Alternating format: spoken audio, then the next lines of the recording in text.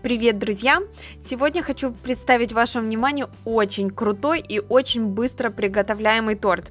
Долго не решалась, стоит ли вам показывать, потому что этот тортик действительно очень популярный, и я думала, что уже все знают, как его готовить, но решила поделиться, потому что этот тортик готовится просто, легко и очень быстро. Получается он просто неприлично вкусный, он очень шоколадный, при этом с нежной сливочной прослойкой можно сделать ее из шоколадного ганаша, и это будет просто шоколадный шоколад в шоколаде. Это просто и вкусно. Для начала я просеиваю в посудину какао по сути, нам нужно просто смешать все продукты. Следом за какао просеивается сюда же и мука, и также пойдет сахар. Я сахара добавляла 250 грамм, по рецепту изначально указано 300. Смотрите по своему вкусу, любите послаже, добавляйте 300. Также сюда пойдет соль и сода сразу же, и просто все сыпучие продукты перемешайте до однородности. Это единственное, по сути, что с коржами вам нужно сделать руками. Дальше уже займется либо миксер, либо кухонная кухонная машина. Сюда же теперь идут все остальные жидкие продукты. Это у нас яйца, растопленное сливочное масло, но не горячее. Также сюда нужно растительное масло. Полный перечень продуктов я оставлю внизу под описанием. Открывайте, читайте, там на двух языках указано все продукты. Затем добавляю сюда молоко и ставлю в кухонную машину на среднюю скорость перемешиваться. Перемешивается оно где-то минут 5-7 для того, чтобы там сахар растворился, мяса и полностью получилась вот такая вот однородная и гладкая структура. Тесто довольно мягкое, но при этом не жидкое. Выкладываю тесто в форму. Рецепт этого теста рассчитан на форму от 16 до 20 сантиметров. У меня кольцо расставлено на 19 и отправляю в духовку. Духовка на 160 градусов у меня печется от 50 до 80 минут. Смотрите по вашей духовке. После того, как корж после духовки у вас остыл, отправляем его в пакет, либо заматываем в пленку минимум на 2 часа. За это время он станет у вас вот таким вот влажным, сочным, при этом очень насыщенно шоколадным и таким красивым глянцем внутри. Посмотрите, это просто шикарный шоколадный корж.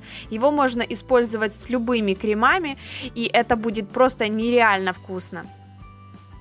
У меня пойдет еще сюда шоколадный ганаш на украшение, поэтому сейчас приготовлю, собственно, его чашу я выкладываю сливки, для того, чтобы не использовать несколько разных видов посудин. Взяла стеклянную чашу и отправила сливки в микроволновку до хорошего такого горячего состояния, чтобы пошел пар. Затем вкинула шоколад. Шоколад выбрала черный. Постояла пару минут и перемешала. Просто перемешала тоже для однородности. Сначала паршивенько соединяется, а затем получается вот такая вот красивая глянцевая структура. Отправляем в холодильник минимум часа на 4. Масса станет более плотной, после чего мы ее начинаем взбивать. Сначала она становится мягче, а затем за счет сливок она прекрасно взбивается и становится более пышной и такой пластичной, для того, чтобы можно было удобно покрыть тортик. Посмотрите, какая красота. Она при этом очень нежная, благодаря сливкам и очень шоколадная. Густой красивый крем для декора у меня готов. Теперь нужно приготовить просто сливочный крем. Для того, чтобы сливки полностью не впитались у меня в тортик, так как они очень нежные, замочила чайную ложку желатина в двух столовых ложках воды, минут на 15-30. Затем в микроволновке их нужно прогреть до растворения желатина и отставить, пускай чуть-чуть остынут. И как раз этим временем начинаю взбивать сливки с сахарной пудрой. Сливки, как и для ганаша, так и здесь я использую 33%. Одной упаковки сливок мне хватило на весь торт, даже еще чуть-чуть осталось. Взбиваю сливки до вот такого вот красивого состояния, до получения уже готового крема.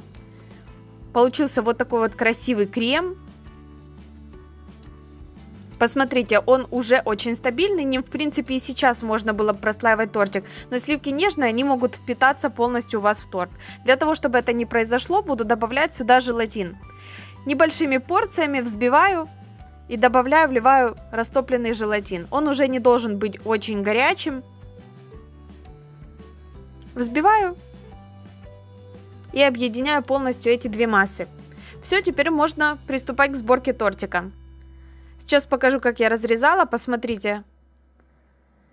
Я сверху срезала немножечко саму верхушечку моего коржа. Она у меня пойдет на украшение, на присыпку боковушки. Буквально там пару миллиметров просто срезала. Затем на подложку ставлю немножечко крема для того, чтобы тортик не ездил. Ставлю первый корж. Пропитывать его дополнительно не нужно. Он и так очень вкусный и очень сочный получается. Если вы дали ему отдохнуть 2 часа этому коржу в пакете либо в пленке при комнатной температуре. Ставлю практически половину крема на первый ярус, затем укрываю вторым коржом. Посмотрите, они такие блестящие, очень вкусные. Немножечко придавливаю, чтобы крем внизу распределился равномерно. И также пошел следующий крем. И остатками крема я смазываю и запечатываю верх своего тортика, для того, чтобы потом э, полить ганашем, и он у меня не впитывался в корж. Затем ставлю тортик в холодильник минимум на 4 часа, чтобы крем у меня стабилизировался внутри. И достаю. Покрываю боковушки взбитым ганашем. И делаю наверх как бы такой небольшой бортик. Я не буду идеально выравнивать, мне здесь это не нужно в этом декоре.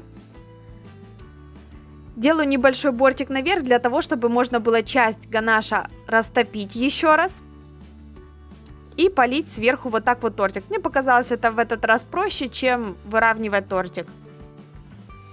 Я просто часть ганаша, остатки его растопила в микроволновке, чуть-чуть подогрела, импульсами перемешивая, чтобы он потеплел.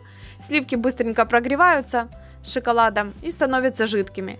И затем заполняю, доходя до бортиков. От тот кусочек коржа, который я срезала сверху, я его измельчила просто на терке, на крупной. И теперь этой крошкой покрываю боковушки тортика. Я не буду покрывать высоко, просто вот так вот низ слегка, чтобы получился такой вот красивый брутальный тортик. Он получается очень вкусным. Я его оставила на ночь пропитываться, но это не обязательно, его можно кушать уже и сейчас, сразу же потому что он у нас и так 4 часа постоял с кремом, с желатиновым застывал. Поэтому его уже, в принципе, можно разрезать прям сразу.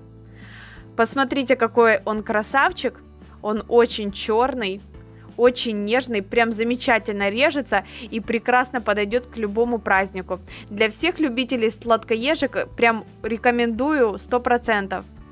Не забывайте, конечно же, поставить свои пальчики вверх, мне будет очень приятно. Если что-то вам непонятно, обязательно пишите в комментариях, я обязательно всем отвечаю и всем приду на помощь.